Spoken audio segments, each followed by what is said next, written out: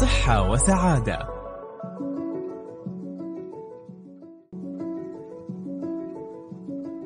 السلام عليكم ورحمة الله وبركاته. صبحكم الله بالخير في هذا اليوم الجميل يوم الاثنين اللي يحبك الاثنين اللي يحبك كل حد. أول يوم في الأسبوع بداية أسبوع جميل إن شاء الله.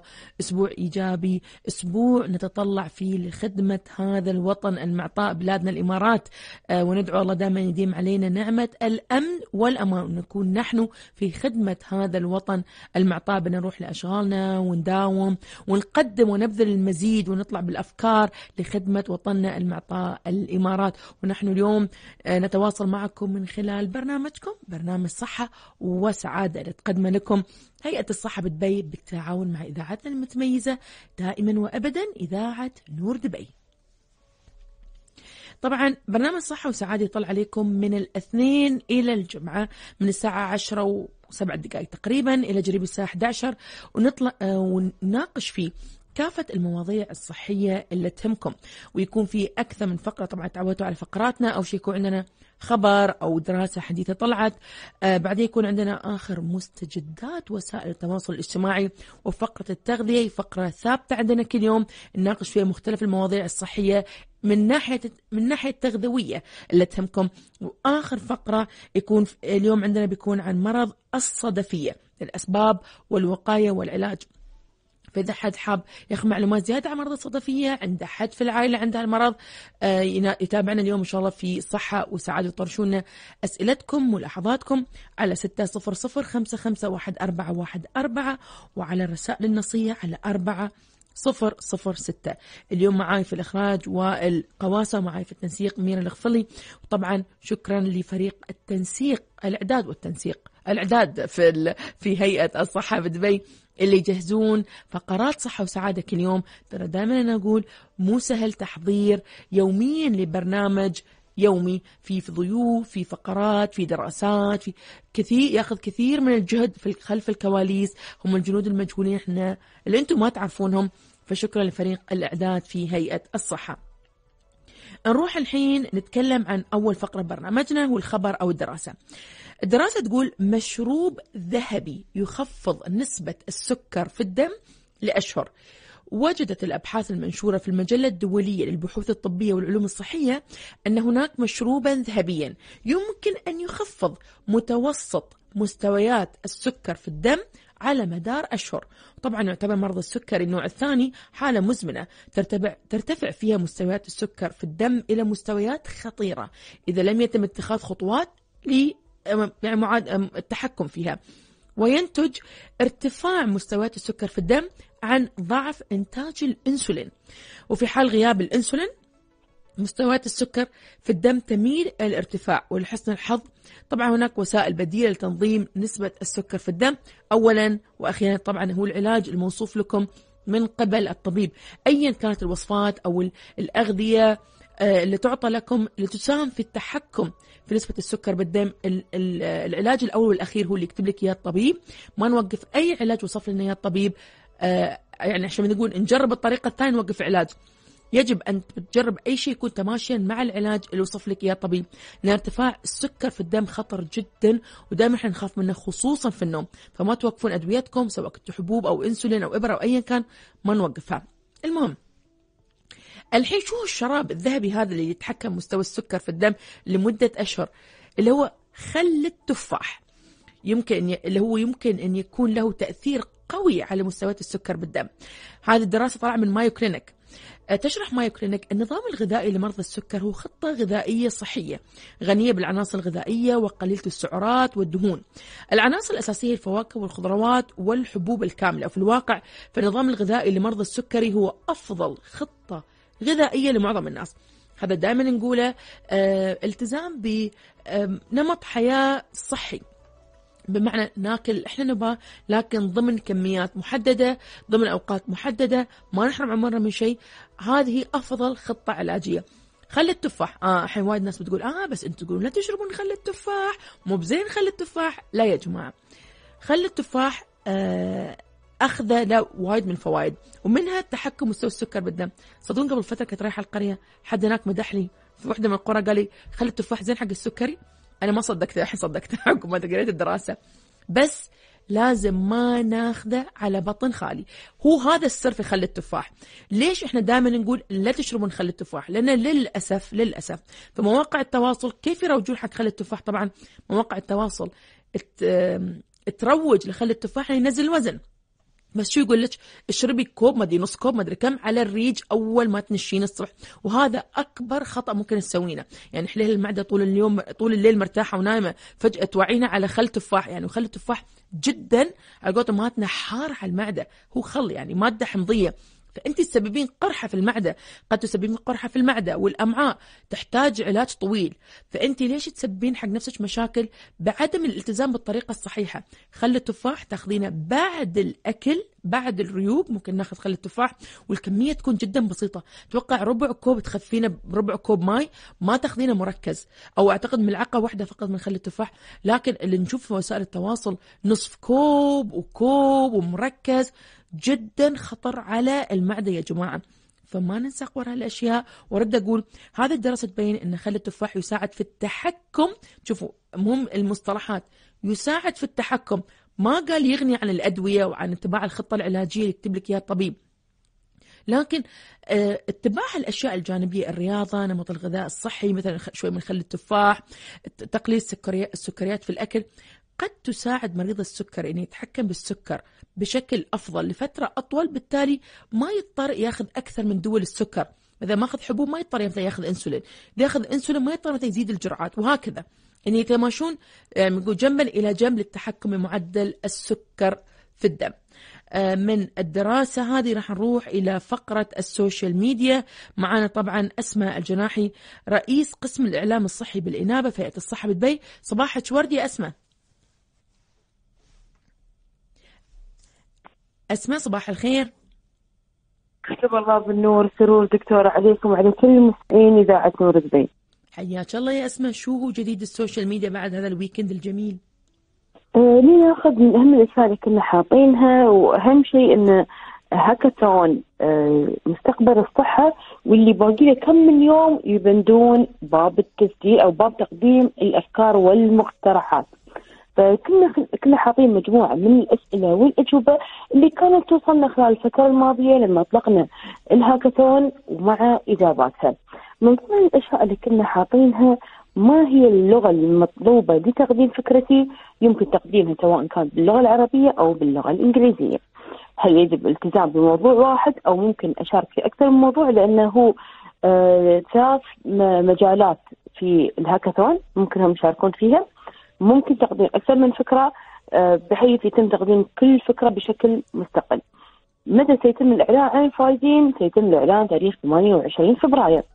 أيضا من ضمن الأسئلة اللي كانت توصلنا هل يمكن تكون المشاركة فكرة أو لازم يكون يعني آه، منتج نهائي؟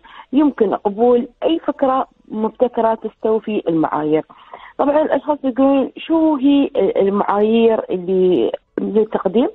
المعين هو إذا يكون مثلا الفكرة متفردة مستوى تفرد في الفكرة مستوى مساهمة الفكرة في تغيير نمط العمل الارتباط والتكامل التام مع استراتيجية هيئة الصحة دبي وتوجهات حكومة الإمارات قابلية الفكرة للتنفيذ وأثر الفكرة على الفئة المستهدفة.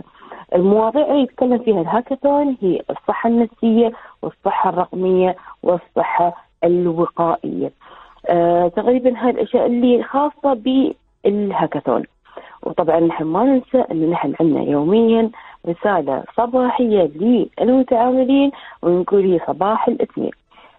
إذا تكون رسالتنا لليوم خصص أول 15 دقيقة من صباح يوم الاثنين لمراجعة الخطة التي قمت بإعدادها يوم الجمعة الماضي.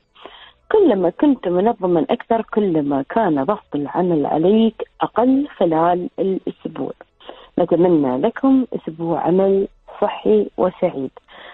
تقريبا هاي كانت الرسائل اللي عندنا أو الرسائل الرئيسيه قنوات التواصل الاجتماعي. وفعلا نتمنى أنهم ينظمون أوقات عملهم دكتورة عشان يكون أسبوعهم مفعم بالإنجاز وبالحيويه. شكرا لك يا أسماء الجناحي مداخلتك معنا اليوم عن جديد ال social ال media ال social media والرسائل الإيجابية اللي تعطينا إياها ومعلومات عن ال الوكا وكاثون ال hackathon. hackathon. شكرا لك. إذا حابين عفوا معلومات أكثر عن المواضيع وهذا وين يلمون يحصلون المو... المعلومات؟ في كل قنوات التواصل الاجتماعي تقريبا آخر نشرة كنا حاطينها هي الأسئلة والأجوبة الخاصة بهكاثون مستقبل الصحة وطريقة التسجيل وتقديم الطلب أيضا موجودة. ممتاز. شكرا لك يا أسماء نهارك سعيد. نهاركم. شكرا. طبعا أنا آه أنصحكم تدخلون على حسابات هيئة الصحة بدبي في مواقع التواصل الاجتماعي وتشوفون موضوع الهاكاثون كيف ممكن تقدمون شو المواضيع المطروحة. آه جميل جدا إحنا نساهم في مثل هذه الأشياء الإيجابية الجميلة اللي تخلي شوي هناك تفاعل مستمر بين القطاع الصحي ومختلف شرائح المجتمع. راح نروح إن شاء الله إحنا فاصل. بعد الفاصل بذكركم بيكون عندنا آه، فقرة التغذية اليوم بتكون عن حمض اليوريك والتغذية. حمض اليوريك اللي هو يسبب ارتفاعه يسبب آه، مرض النقرس منا يعرفه بمرض داء الملوك آه، لما يكون في التهاب في أصابع أصابع معينة من القدم بسبب ارتفاع حمض اليوريك. فراح نتناقش موضوع حمض اليوريك والتغذية بعد الفاصل. فابقوا ولا تذهبوا بعيدا. صحة وسعادة.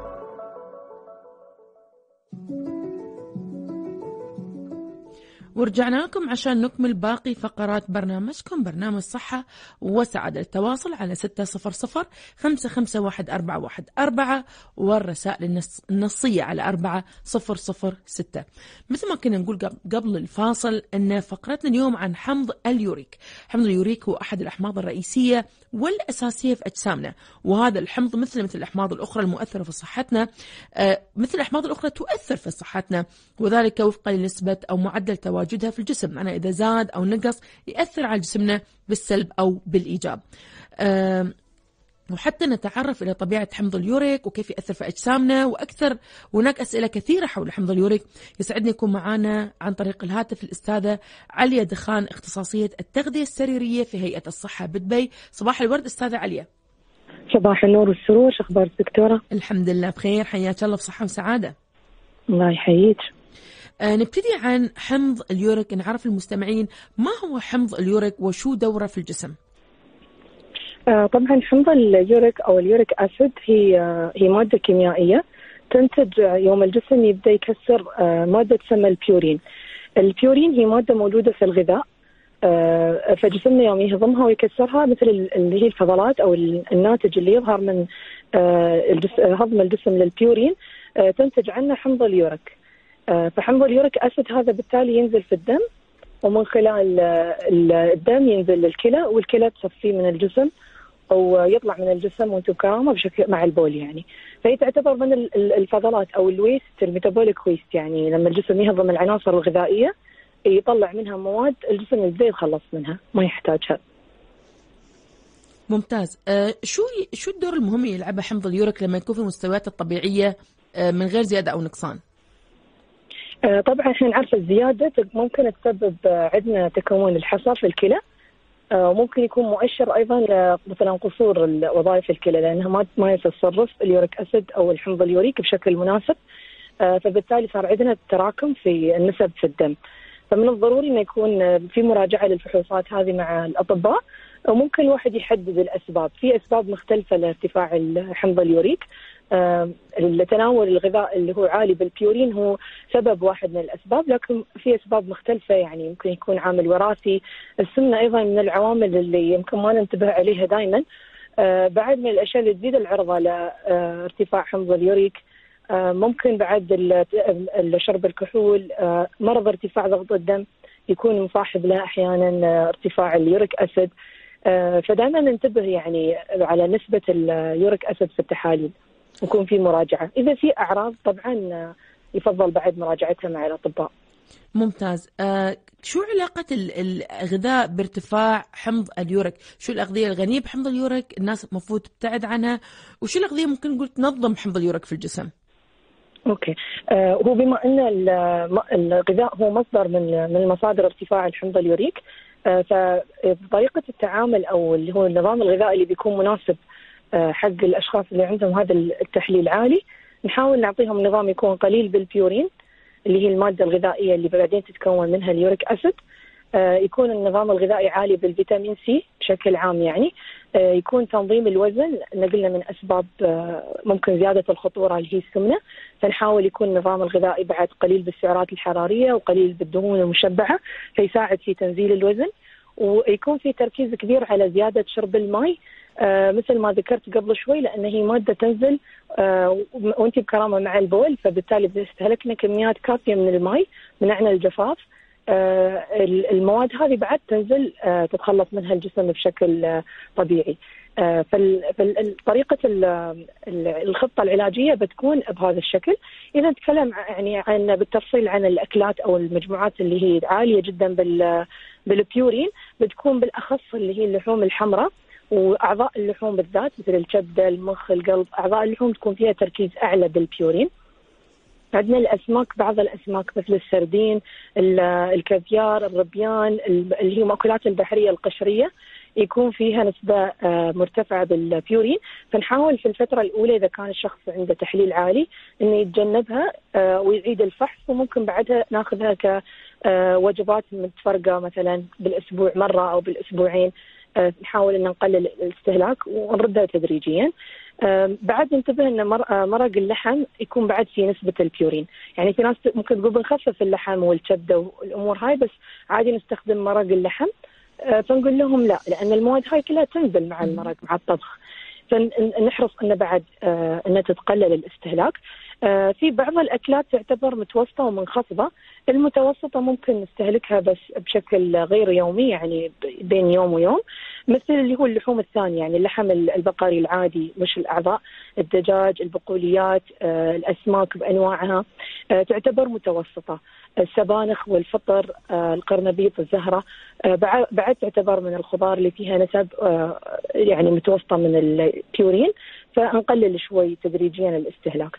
أما بالنسبة للأطعمة اللي هي منخفضة بالبيورين تعتبر اللي باقي الخضار اللي ما انذكرت مثل الخضار الورقية، الخيار، السلطات هاي كلها تعتبر قليلة واستهلاكها اليومي يعتبر عادي. الألبان قليلة الدسم، البيض، المكسرات في دائما يعني الأشخاص أو ال patients أو المرضى اللي يونا يشكون في المكسرات انها ممكن ترفع الأملاح أو ال uric acid فلا تعتبر المكسرات أو زبدة المكسرات يعني منخفضة.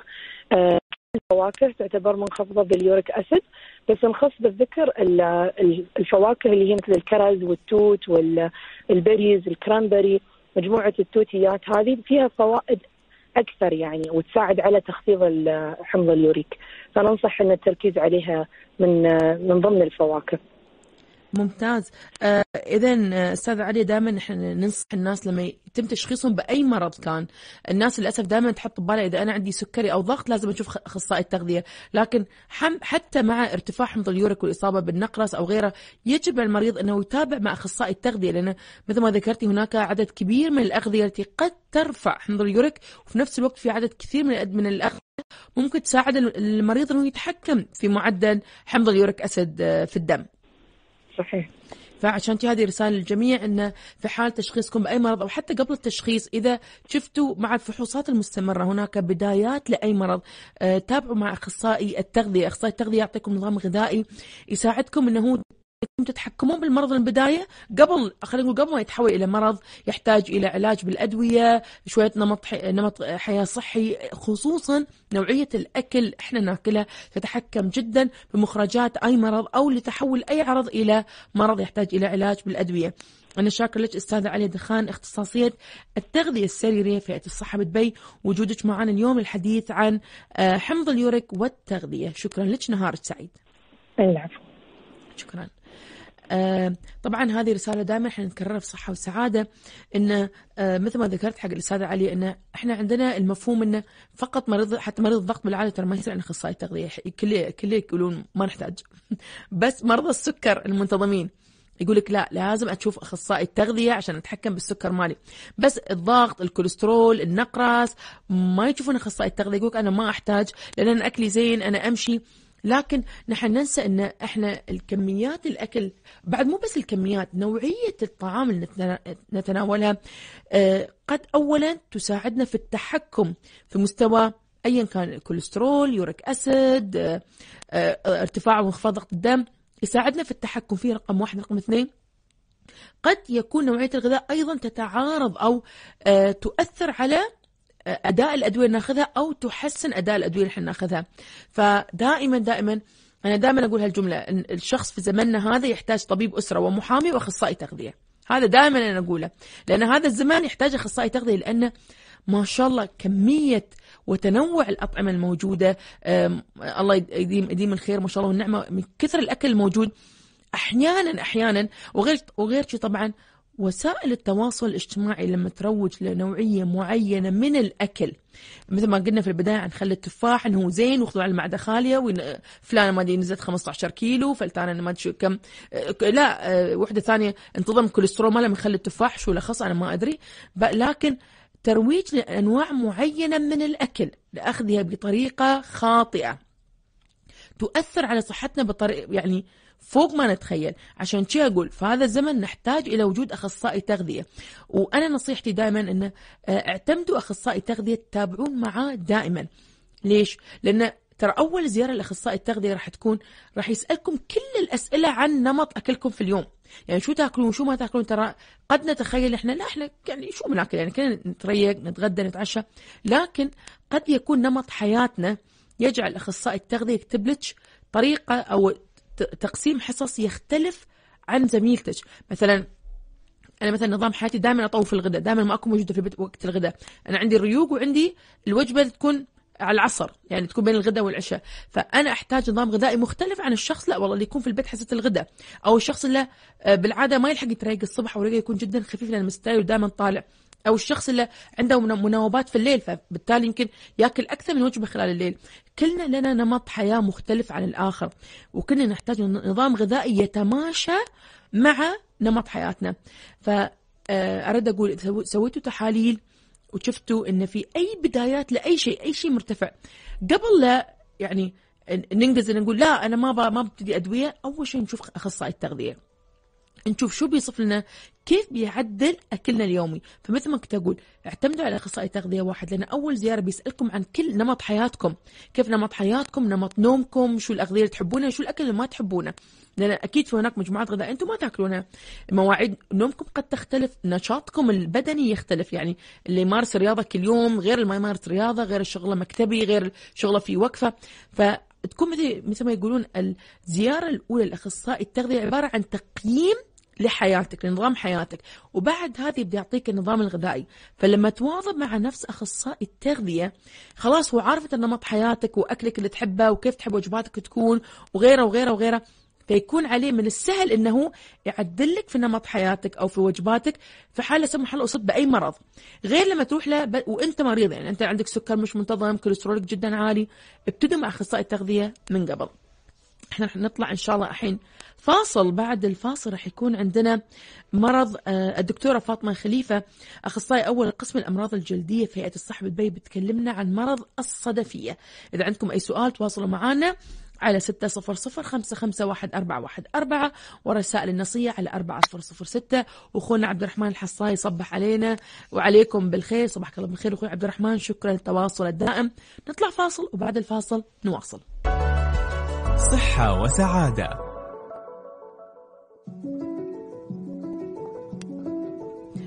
ورجعنا لكم عشان نكمل باقي فقرات برنامجكم برنامج صحة وسعادة. للتواصل على ستة صفر صفر خمسة خمسة واحد أربعة واحد أربعة والرسائل النصية على أربعة صفر صفر ستة.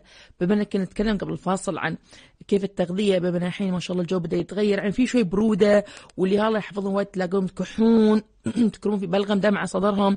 فأنا أنصح كل الأمهات بأفضل وصفة للأطفال. الله يخليكم الأطفال. يعني ممكن في السنة يمرضون ست سبع سبع مرات يجيهم زكام. زكام عادي يعني ما في حرارة بس الله ما شوي كحة خفيفة وشوية ها شوية بلغم هذا اللي يزعجهم. أفضل وصفة لليهال أنا عيالي ما أعطيهم أدوية. أتبع شوربة الدياي.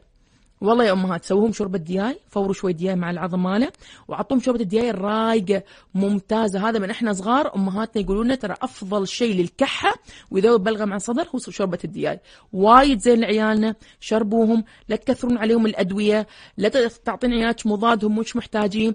الأشياء البسيطة اللي نسويها في البيت وطبعا ماي اللبان العربي هذا معروف هذا من كنا صغار نشربه عشان الكحة.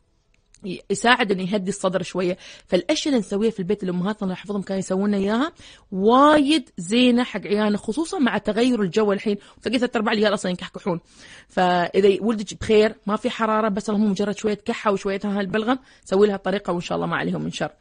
آه ونروح الحين لفقرتنا الثالثة عن مرض الصدفية. وطبعا مرض الصدفية أحد الأمراض الجلدية المزعجة والمقلقة الشائعة هو طبعا مقلق. لأن مظهر أحيانا يكون المريض شوية ما يكون لطيف فتلاقي المريض دائما يعني آه، زعلان من موضوع آه، مرض الصدفية لما يكون واضح للناس وهو مرض طبعا مزمن ويتطلب وقتا طويلا للعلاج لكن في كل الأحوال فإن العالم طبعا يشهد تطور هائل في المجال الطبي في التشخيص وفي العلاج. وهناك كل يوم جديد على مستوى مختلف الأمراض في علاج الأمراض تشخيص الأمراض كل يوم في شيء جديد. وفي هذه الفقرة المخصصة لمرض الصدفية سنتعرف سويا على طبيعة المرض والجديد من العلاجات وما إذا كانت هناك سبل للوقاية من الصدفية مع تطور العلم ترى كل شيء ممكن. ممكن حتى قبل بعد كم من سنة يقول والله في طرق تقي نفسك من إصابة بأي مرض. يسرنا الحديث عن الموضوع أن تكون معنا الدكتورة فاطمة خليفة أخصائي أول قسم الأمراض الجلدية بهيئة الصحة بدبي صباحك ورد دكتورة فاطمة. أهلين صباح النور. أهلا فيك صحة وسعادة. أهلا حبيبتي. نبتدي أول شيء نعرف المستمعين نبدأ عن مرض الصدفية. ما هو مرض الصدفية؟ ما هو أسبابه؟ وخلي الوقاية منه بنخلي آخر شيء. نتعرف أول شيء ما هو كيف أعراضه وما هي أسبابه؟ أوكي. مرض الصدفية مثل ما حضرتك تفضلتي آه، هو مرض جلدي شائع مزمن غير معدي. هاي وايد مهمة غير معدي لأن الواحد ساعات يوم يشوف واحد يديه مقشرة يتحرى أنه خلاص معدي ويخاف يسلم حتى عليه. هو غير معدي يصيب الجلد والأظافر وممكن يصيب المفاصل وعادة تكون في قشرة سميكة مائلة للون الفضي عشان شي يسموه صدفية. آه هاي الحالة ليش تنتج؟ تنتج نتيجة سرعة نمو طبقة الجلد بشكل أسرع مقارنة بالأشخاص الطبيعيين. يعني مثلا الأشخاص الطبيعيين خلاياهم يتم استبدالها مثلا كل 10 إلى 30 يوم. الناس اللي فيهم الصدفية يتم خلاياهم كل ثلاث إلى أربع أيام تلاقينها تتجدد عشان كلها تتراكم وتسوي لنا هاي الطبقات القشرية على البشرة. زين أكثر الأماكن اللي تصاب عادة ممكن تكون فروه الرأس منطقة الركب الأكواع وأسفل الظهر. وهذا المرض آه، بين فترات يعني تلاقينا دوم متفاوت يعني أحيانا يزيد واحيانا يخف. لكنه لا يختفي تماما. زين هذا المرض يأثر على حوالي تقريبا 2 إلى 4% من سكان العالم. آه، الرجال والنساء يتأثرون سواسية بنفس النسب وممكن يبتدي في أي مرض آه، في أي عمر sorry لكن عادة يبتدي في مرحلة البلوغ. نشوفهم أكثر الحالات آه، مرحلة البلوغ. والصدفية طبعا تعرفين هي ترتبط بخطر التهاب مفاصل الصدفية وأمراض القلب وداء الكرون والاكتئاب أيضا. ممتاز. يعني هاي نبذة عن الصدفية. نبذة هذه نبذة جميلة جدا أعتقد المستمعين كونوا فكرة الحين عن مرض الصدفية. أه نتكلم الحين ما هو الجديد في علاجات المرض؟ وهل العلاجات مجدية بالفعل؟ ولا بس تخفي الأعراض. أه طبعا في جديد في علاج الصدفية أكيد. وهو يعتمد على نوعية الصدفية وشو اللي طالع مثلا في المريض. عندنا إحنا أنواع من الصدفية عندنا وايد أنواع. الصدفية اللوحية وقطروية وفروة الرأس. في عندنا في الثانيات في الأظافر في البثرية في المحمرة للجلد في عندنا صدفية المفاصل. فالعلاجات إحنا عادة نبتدي بها آه، الأشياء الموضعية مثلا إذا كان واحد عنده صدفية خفيفة فقط في الجلد نعطيه كريمات يعني ممكن الكريمات اللي فيها الترطيب فيها الكورتيزون أو آه، الكريمات اللي فيها ال vitamin D.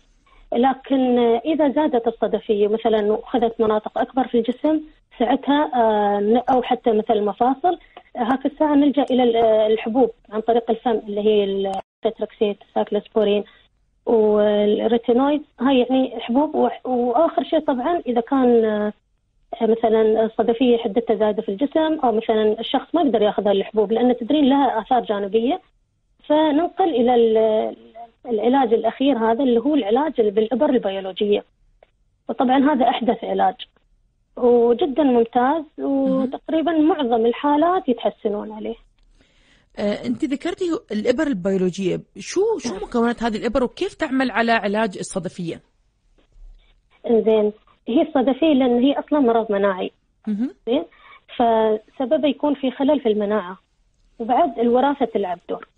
فهذا الخلل اللي في المناعة هو اللي يسوي يؤدي إلى تكاثر الخلايا ويسوي لنا الصدفية. فبالتالي الحين اكتشفوا العلماء إن في بعض الأدوية اللي هي هاي الابر البيولوجية هاي تؤثر على المناعة.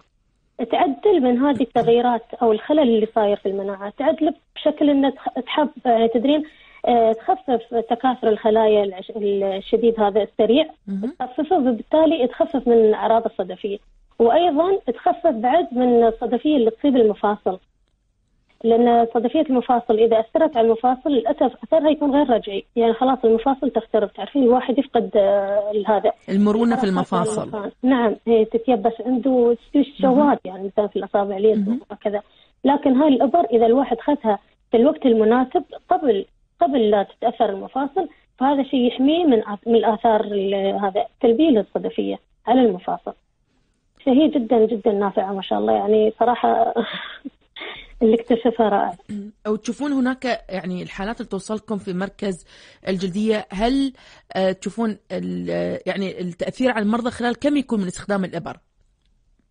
آه، تتأثر تدي- آه، ت- آم، تأثير الأدوية على المريض يعني يتغير من شخص لشخص مش كل المرضى يتحسنون في نفس الوقت وأيضا يختلف من دول لدواء مثلا في عندنا الإبر البيولوجية أكثر من نوع في. اللي ياخذونه كل أسبوعين في اللي ياخذونه كل شهر في اللي ياخذونه كل ثلاثة شهور فعلى هالأساس بس إحنا عادة يعني ممكن أقول لك إن تقريبا في الثلاثة شهور الأولى نشوف نتيجة جدا آه، مرضية للمريض يعني إذا ما خاف كله حتى المريض يكون وايد يعني مرتاح إنه بدأ يشوف نتائج إيجابية في المرض اللي عنده.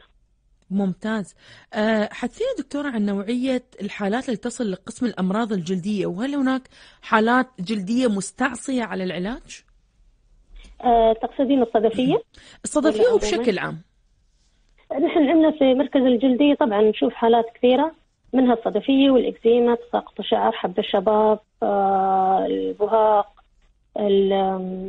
آه ممكن أقول آه هذا نسميه ال- الألوبيشيا أريات اللي هي فقدان. الشعر الثعلبة نعم نعم ووايد أمراض يعني إحنا نشوفها آه الحمد لله. آه توجد علاجات لمعظم هذه الأمراض.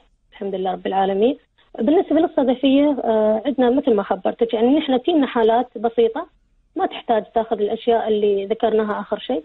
بس مجرد كريمات ويتحسنون عليها ما شاء الله ويتمون ثابتين عليها. يعني مثلا تينا المريضة خلاص يعني خلاص إن الحمد لله هي تاخذ الأدوية. والمرض مسوي عليه control تعرفين لأن هي الصدفيه ليس لها علاج جذري. يعني هي ما. تختفي. يعني مثلا أعطيناها العلاج ووقفت. عنه لا لازم يتم العلاجات. صحيح. آه هي نعم. وإذا كانت الحالات الشديدة طبعا عندنا آه مثل عندنا مثل ما تو قلت الثعلبة الثعلبة الكاملة. هذه لها علاج بيولوجي أيضا. صدفيه لها علاجات بيولوجية. عندنا الإكزيما الشديدة بعد عندنا لها علاجات بيولوجية. تعرفين ما شاء الله الطب تطور فمعظم الحالات اللي جدا كانت قبل مستعصية علينا حاليا موجودة لها العلاجات. موجودة عندنا هنا في المركز. ممتاز. إحنا عندنا مداخلة من الأخ سعيد أتوقع يبغى يسأل عن الصدفية أو okay. الجلدية. الأخ سعيد صباح الخير. خير النور. السلام عليكم جميعا. عليكم السلام. هلا فيك. السلام. وعلى مستمعيكم الله يسلمك. آه، أنا تيني حساسية. مهم. كل سنتين مرة كل سنة مرتين كذي. وتروح كامله مرة بول. وتم يلدي يعني مثل ما تقولين ناعم. أملس. مهم. ماشي. ما كان كانت فيه ما أدري شو من يعني تغير في يعني شو- شو من تروح من أكل من مثلا آه، دواء شعبي ما أدري والله ما لاحظت يعني بغيت لأن جتني قبل تقريبا يعني قولي آه، كم من شهر وراحت عني. وردت مرة ثانية قبل شهرين. الحين لا زالت فيي التبانة والصيم زين وال والذراع مهم. إيه. ممكن توصف لنا شوي يعني والبطن الأخ سعيد الدكتورة تقول لك إذا ممكن توصف لها شكل ال- ال- ال- ال- الحساسية تطلع لك تعرفوا يعتمد على الشكل هل هم حبوب صغيرة هل هو احمرار فقط ولا كيف شكله؟ آه، كل كل الأنواع في احمرار وفي مثل ما تقولين حتى ما يعني آخر مرة هاي لقيتني بالظهر. قامت شو تسوي مثل مثل شو يا ربي مثل فتيلة جي يعني الحبة هي. حتى الفتيله يوم اجلعها. تطلع فتيله وياها. إنزين. يعني مثل خيط مثل خيط تطلع وياها. مثل خير وفي منها. إيه، وفي منها مثل ما تقولين آه، يعني أنتم تسمونها ظني صدفية هاي اللي مثل ظهر الحمصه وشي. يعني قشره قشور تكون يعني على الظهر. مثل قشور. إيه. لا ما بالظهر. هاي تكون آه في في الريل زين؟ وفي وفي مكان مثلا جفاف. وفي مثلا آه حج شي مهم. يعني تروح بالماء الحار. زين اكو عليه ماء حار حتى مثل ما تقولين إذا يجي في مكان ثاني في جسمي يعني أحس بأنه خلاص محرق. okay؟ هي تطلع لك مثل التورمات ولا تطلع لك أماكن إيه. وايد تحجك ولا تطلع لك أماكن عليها كشور؟ كل, كل الأنواع. آه. اللي قلتيها انزين أخوي إيه، سعيد. عقب تختفي مو لي. ممتاز. حتى في أماكن أسوي أظني آه، ندى تندي. تندي. أوكي. إيه. زين. وعقب أقول تختفي مو لي. تم. سنة كم من شهر شي. وترد. ساعة سنتين ثلاث أربع. هاي من 2010 بدأت فيه هل سويت أخوي سعيد فحوصات أكل فحوصات حساسية في العيادات لا عشان تشوف سويت. مرة في أمريكا أظني. هي ما ما ما صابوا عليها. إن شاء الله. أنتم اراجع اراجع عيادة الصفا ما قالوا لي أعطوني موعد أعطوني حبوب شي زرق صغار. هي حبوب الحساسية هذه. إيه. الحبوب خلصت بس شو اسمه آه، وهاي بعدها حساسيه ما راحت. إن شاء الله. إحنا بنتناقش مع الدكتورة إن شاء الله. تم سمعنا وإن شاء الله تحصل الجواب. وألف سلام عليك. كل الأنواع أقول لك. إن شاء الله. آه، ما إيه. يهمك. بخل... وساعات تروح بروحها ما أدري شو منه بنخلي إن شاء الله الدكتوره. إن شاء الله. بنخلي الدكتورة عاشت آه، تشوفك تعطيك موعد إن شاء الله في مركز الجلدية يشوفونك وإن شاء الله يحصلون السبب والعلاج إن شاء الله. إن شاء الله رقمي عندكم ها؟ إن شاء الله. هي أكيد موجود في الكنترول. مشكورين. شكرا يعطيك العافية. آه، دكتورة عاشة مثل ما قال الأخ سعيد وأعتقد هذه شكوى يعني خلينا نقول متكررة عند بعض الناس أن الحساسية تطلع بين فترة وفترة أنتم بالعادة لما حد يشتكي من حساسية تطلع فجأة وتروح روحها بين فترة وفترة شو ال- التحاليل بالعادة تطلبونها من من المريض أنه هو يسويها قبل لا يشوف أخصائي الجلدية؟ آه هي أهم شيء إحنا عندنا طبعا الجلدية لازم نشوف. يعني مجرد ال- الواحد يوم يوصف لنا بالكلام آه مثل ما قال الاخوي يوسف آه شوية ضيعين في التشخيص صح. يعني ما توصلين للحل. مهم. أفضل شيء إحنا طبعا لازم نشوف. التحاليل اللي يطلبونها مثل الأطباء العام آه، أطباء الأسرة ممكن تكون آه، تعرفين يطلبون ال- تحليل تحليل مثل الكرات البيضاء يشوفون مثلا إذا كان زايد مثلا ممكن يكون في عند التهاب. آه، يعني أشياء عامة ولكن نحن يوم نشوفه نقدر نحدد بالضبط أي تحليل يحتاج. آه، هو على حسب وصفه انه طلعت له من كل الأشياء وتختفي عنه تماما عقب ترجع له مرة أو مرتين في السنة طبعا عطوه حبه الزرقاء هاي معناته أعطينا انتي هستامين اللي هي مضادة صح. للهستامين وطالما ما ما اعطوه كريمات ولا أي شيء معناته أغلب الاحتمالات إنه هو تشخيصه كان ارتكاريا. الارتكاريا بالفعل ممكن تح- تحصل مع المواسم يعني مثلا في ناس يتحسسون تطلع لهم زيادة في الشتاء في ناس تكون مرتبطة بالأكل بأكل معين تعرفين يعني هاي آه، في شيء يصير شيء في الجسم يخليه يفرز مادة الهستامين وعلى أساسه تستوي له هاي ال- الحساسية تطلع له أو الطفح الجلدي. هذا طبعا علاجه بالانتي لأن إحنا نخفف نسبة الهستامين اللي انفرزت ولازم نعرف السبب. يعني إذا عرفنا الأسباب وخلينا المريض يتحاشاها خلاص الحمد لله يعني معظم الحالات خلال ست أسابيع إذا عرفنا الأسباب خلاص تفوز عن المطرد يعني لكن إذا استمرت زيادة تتحول إلى مزمنة هاك الساعة يتم المريض ياخذ هذه الحبوب آه، كل ما يته آه، ياخذ حبوب والحين في طبعا على حسب حدة المرض مثل ما تو ذكرت انه في عندنا إبر بيولوجية حق معظم الأمراض حتى الارتكارية حاليا عندنا إبرة الزلير. يعطونها للناس اللي عندهم الارتكارية المزمنة اللي ما تتحسن مع حبوب الحساسية. فأنا أفضل إن أخوي يحضر لنا العيادة ونشوفه وعلى أساس إن شاء الله نحدد له بالضبط شو تشخيصه وعلى أساس نحدد العلاج المناسب له. إن شاء الله. أنا بطرد ان شاء الله رقم الأستا... الأخ سعيد. عشان إن شاء الله ترتبون له موعد في عيادة إن الجلدية في دبي لأنه هو حسب ما قال يتابع عيادة الصفا فأتوقع يمكن نعم. معطينا تحويله على الجلدية عشان إن شاء الله تشوفون ال- الحساسية آه بنفسكم وتقررون العلاج المناسب إن له. شاء الله. إن شاء الله. أنا شاكرة لك أستاذة الدكتورة فاطمة خليفة اخصائي أول قسم الأمراض الجلدية في الصحة بدبي مداخلتك نعم. معانا اليوم. آه في عندنا مداخلة؟ علي ما علي بنخليك معانا اليوم شوية فترة أطول. دكتورة فاطمة الموضوع. شيق العادي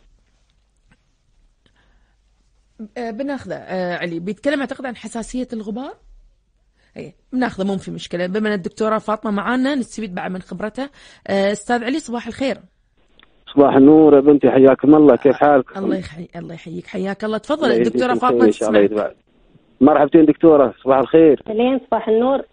الله يسلمك دكتورة موضوع طال عمرك أنا موضوع الحساسية نعم آه، هل له علاج أو ما له علاج؟ زين أي نوع من, الأس... من أي نوع من الحساسية اللي عندك؟ أنا يا بنتي طال عمرك عندي من الغبار عندي من الأسماك عندي من آه، يعني الحشايش هذه اللي هي. إحنا نسميها الصيق هذه وأشياء كثيرة كثيرة والاكلات هاي ما أدري صويا صوص والأجبان وال... والحمد لله على كل حال. أنا عندي طال عمرك يعطوني هالابره هذه اللي هي تنضرب في ال... في, ال... في الورش هذه. أوكي بديت يعني علاج أنت الحمد لله. لا أنا أعطوني طال عمرك أعطوني آه، ذاك اليوم من مستشفى دبي وأعطوني طال عمرك دواء آه، قالوا تشتري أنت روحك اللي هو عبارة عن آه، رذاذ الغبار. نعم آه، نفس البخاخ بس ما ما قدرت أستحمله يعني ما إذا في شيء بديل أو في علاج لموضوع الحساسية نبغي بس آه، حد بس يفيدنا يا, بنتي لأن تعبنا من الحساسية وكل ما أروح مكان يقول لي. هذا ما في علاج للحساسية غير المهدئات اللي هي الحبوب أوكي. أو الإبرة هذه إذا الله لا قال صارت عندك زيادة أو صار عندك. اختناق. تضربها إيه. أخوي علي نعم. أنت بالضبط شو اللي يطلع لك؟ يعني شو أنا يا بنتي آه،؟ أختنق أختنق أختنق بنتي آه يستوي عندك صعوبة في إيه. التنفس أبوي إيه، صح؟ يصير عندي ال- البلعوم يضيق والنفس يضيق وينقص الأكسجين ورش رعشة و... إيه. إنزين أبوي آه، حتى السيارة يعني اللي هي مش مش نظيفة لازم. يكون يعني ال- ال- مهم. الفراش عندي وتر بروف السيارة تكون. نظيفة الملابس الصابون بعد حينها حتى وصلت لمرحلة إني أسبح بصابون شرمته مال الأطفال هي هو عشان ما يهيج إيه. الحساسية. آه، نعم. إحنا شو بنسوي؟ إحنا بنخلي آه، حد من قسم ال- ال- الحساسية في مستشفى دبي يطلع معانا إن شاء الله في برنامج صحة وسعادة عشان يعطينا أكثر بخصوص هالموضوع لأن هالموضوع يخص أكثر المناعة من مر- من الجلدية إن شاء الله. فما يهمك بنتناقش موضوع إن شاء الله بشكل آه، مفصل إن شاء الله. ما يهمك. عند عند الدكتورة اللي هي دكتوره سالي. مهم. وتعالجت طال عمرك بعد عند مستشفى راشد عند الدكتور عمار على ما أعتقد شيء كذي اسمه. لفترة يعني. بس من أنا. كورونا شوية ما قمنا نخاف ما ما نسير لا لا ما يهمك. المستشفيات عندنا كلها ماخذين إجراءات احترازية كاملة وإحنا إن شاء الله مثل ما قلت لك بنناقش الموضوع في صحة وسعادة وبنخليهم إن شاء الله عقب هذا تروم تقدر تتابع معاهم إن شاء الله في المستشفى. شكرا لتواصلك معنا. يعطيك شكراً- العافية. شكرا. شكرا. الله يجزيكم خير. آه، دكتورة فاطمة عندنا آخر مدا... مداخلة من خالد. sorry تفضلي. آه، عندنا مخ... م... سامحيني مداخلة أخوي خالد عشان ما خلي يتريع على الخط بخصوص مسامير القدم أتوقع. الأخ خالد؟ خير تفضل هلا أخوي تفضل. دكتورة تسمعك. دكتورة مسامير لحم بأسفل رجلي. صار لهم فترة طويلة. نعم. عملت لهم عمل جراحي وشلتهم ردوا رجل. مسامير أعرف القدم الجلدية. أنت تتابع تتابع في عيادات الجلدية ولا بعدك ما رحت؟ والله آخر مرة أحكيك من فترة رحت على من سوريا على سوريا مشي ست شهور أنا كنت بسوريا ورحت على دكتور ما أعطونيش علاج أعطوني عبارة عن كريم. آه، بس ما ما عم بستفيد منه شيء. حتى عم حس خشونة ب- بصير خشونة بأسفل رجلي. المسمار اللحم اللي بأسفل رجلي بيطلع قد نص الدرهم. لما يكبر عم بضايقني بالمشي. يعني بتحس حالك عم تمشي على بحثة صغيرة أو هيك شيء. آه آخر شيء دكتور وصف لي مثل شفرات عم تجيبهم من الصيدلية مهم. وبعقمهم هيك وأنا بحطهم هيك وبنظفها يعني بخلي بخليها على مستوى قدمي ما عرفتش ما عرفت الاقي لها ولا حل ولا علاج يعني صرت صار لي أكثر من سنه سويت أشعة أخوي عل- آه، خالد سويت أشعة؟ ما حدا؟ طلب مني قبل رحت أكثر من دكتور بس ما حدا طلب مني أشعة okay هلا واحد أنا شلتها بعملية جراحية شلتها من أساسها ردت طلعت إن شاء الله تسمع الجواب أخوي خالد من عند الدكتورة فاطمة. شكرا لتواصلك معنا. شكرا لك شكرا. آه، دكتورة فاطمة على السريع لو تجاوبين على سؤال الأخ خالد. آه، أقول لك بالنسبة لعلي. هي. علي شكله ما عنده هذا إكزيما ولا ارتكاريا أظن هو عنده آه، انجيو اديما أو اللي هي مشكلة لازم يتابع معها دكاترة الصدر. هي نعم. تنفس. آه، بالنسبة لخالد آه، مسامير اللحم طبعا هاي اللي في القدم. تستوي نتيجة يا أن مثلا أحيانا يكون عندهم مثل آه، نتوء في العظم من تحت. في يعني مثل زي- زيادة في العظم يكون عادة في مراكز ال- الضغط في الجسم أو مك- مراكز اللي وزن الجسم كله يرتكز عليها. الجسم أساس البشرة عشان تحمي نفسها تكون جلد. تت- تتكاثر وتسوي جلد ميت. على هالمكان مهم. عرفتي؟ عشان ما يتيرح. فبالتالي عشان شي تستوي لنا ساعات مسامير اللحم. أحيانا تستوي نتيجة مثلا الأحذية إذا كانت ضيقة أو إذا كانت آه، آه، يعني باطن آه، باطن الحذاء إذا ما كان آه، ناعم آه، أحيانا بعد يسوي لنا آه، خشونة في هذا في السول مال القد... الحذاء ممكن يسوي لنا نفس الشيء بعد يسوي المسامير مسامير اللحم. علاجها طبعا إحنا نشوفها إذا كانت آه، أول شيء أنا لسه سالت عن الأشعة أساس بس نعرف إذا كان عنده هاي زوائد ال- ال- العظمية ولا لا. نعم. لأن إذا هاي موجودة هو مهما عالج بترجع له مرة ثانية. فطبعا علاجها إنه يحط له مثلا تدرين يبيعون تكرمين هذا مثل الإنسول يسمونه للقدم اللي ينحط. داخل تكرمون الجوتي عشان يعطي. دعامه نعم. للقدم هي يخفف شوي من الضغط اللي طالع تدرين من ضغط الجسم على الأرض. فبيخفف من هاي المسامير والشيء الثاني إحنا ممكن نعطيهم كريمات أو سائل يذوب الجلد الميت هم يعطوه شفرة آه، ما صح. انصح يسوي بالشفرة وايد لأن الشفرة ترجع اللحم مرة ثانية مثل ما. كان ساعات يكون زيادة. صحيح. فأفضل لو يتابعنا ممكن نعطيه العلاج اللازم يعني. إن شاء الله. أنا شاكره لك دكتوره فاطمة خليفة اخصائيه أول قسم الأمراض الجلدية بهيئه الصحة بالبي مداخلتك معنا اليوم. خذينات خليناك وايد ما شاء الله معنا كانت الحلقة وايد. شيقة ويسعدنا يسعدنا إن وايد من المستمعين تواصلوا معنا شكرا لك دكتورة فاطمة نهارك سعيد. شكرا. الله يسلمك مشكورين مع السلامة. مع السلامة. آه وصلنا لنهاية الحلقة. أنا حتى خذت شوية أكثر. آه راح آه يعني نتمنى لكم باقي نهار سعيد إن شاء الله. وأنا أشوفكم إن شاء الله بإذن واحد أحد الاثنين القادم. وأقول لكم دمتم بصحة وسعادة. صحة وسعادة.